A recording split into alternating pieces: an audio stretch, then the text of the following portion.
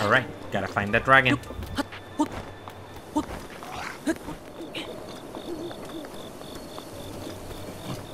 The one that's in here is Farosh. The one from the Faron region. There he is. Look at that. It's almost like I summoned him. Alright, let's float. Hello, Farosh. Guess what? I came here for your horn. Like this.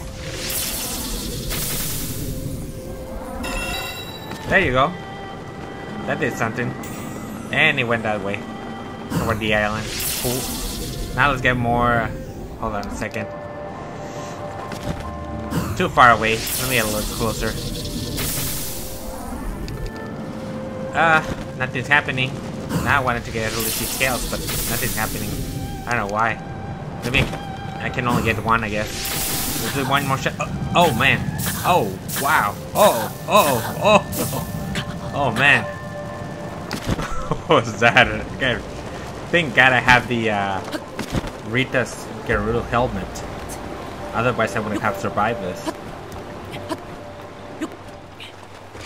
Alright. Let me go and get that shard that I just broke from the dragon.